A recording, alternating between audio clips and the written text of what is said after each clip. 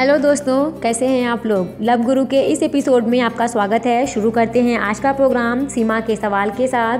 सीमा कहती हैं कि, हाय लव गुरु जी, हेलो सीमा। लव गुरु जी मेरी एक दोस्त है, जो एक लड़का, एक लड़के से पिछले छः साल से प्यार कर रही है। हम्म। और वो लड़का भी उसको बहुत प्यार करता है। लेकिन उन दोनों की शादी नहीं हो पा रही है, क्योंकि वो लड़का गरीब है और वो लड़की बहुत अमीर है। लड़के के घर वाले तो तैयार हैं, लेकिन लड़की के घर वाले तैयार नहीं हैं और वो दोनों अपने परिवार के खिलाफ भी नहीं जाना चाहते। अब लड़के की शादी कहीं और तय हो रही है क्योंकि उसकी मम्मी की बहुत तबीयत ख़राब होती है तो उनको बहुत ज़रूरत है बहू की और वो लड़की उस लड़के की बिना रह भी नहीं सकती, अपने परिवार वालों के खिलाफ भी नहीं जा सकती।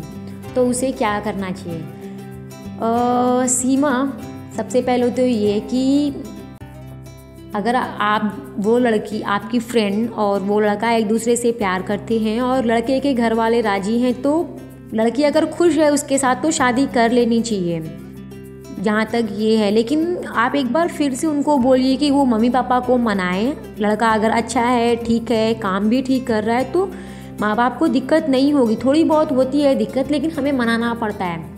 और उसके बाद भी नहीं, वो मानते हैं। तो अपनी फ्रेंड को बोलिए कि उनके लिए दोनों में से सबसे ज़्यादा ज़रूरी क्या है?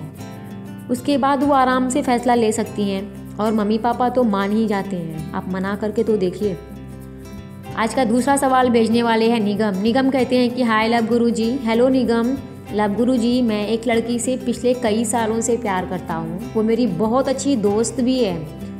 लेकिन वो इतनी फ़नी है कि मेरी हज़ार बार आई लव यू कहने के बाद भी उसको कोई फ़र्क नहीं पड़ता। ऐसा नहीं है कि वो मुझसे लड़ाई करती है या बातें करती है।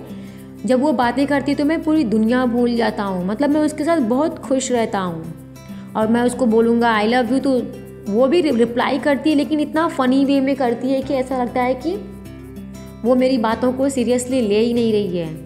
और मैं उससे बहुत प्यार करता हूँ, मैं शादी करना चाहता हूँ उसको, मैं उसको कैसे यकीन दिलाऊँ कि मैं उसको प्यार करता हूँ?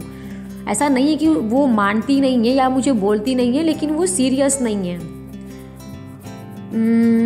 निगम, आप दोनों लोग पिछले कई सालों से दोस्त हैं। आप उस लड़की को बहुत अच्छे तरीके से जानते होंगे।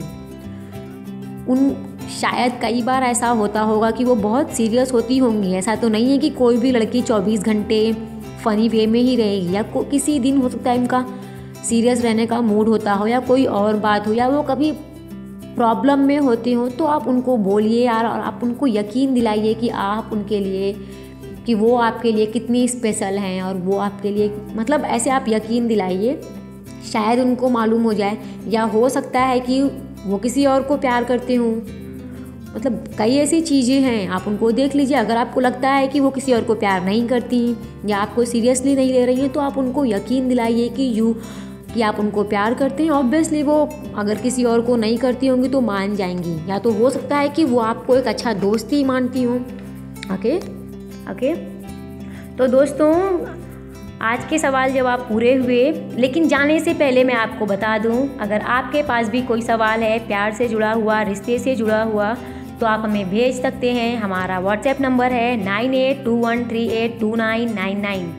हमारा मेल आईडी है K H A B A R L A H A R I Y A D E L H I at the rate G mail dot com तो दोस्तों, हमें आपके सवालों का इंतज़ार रहेगा। तब तक के लिए, गुड बाय।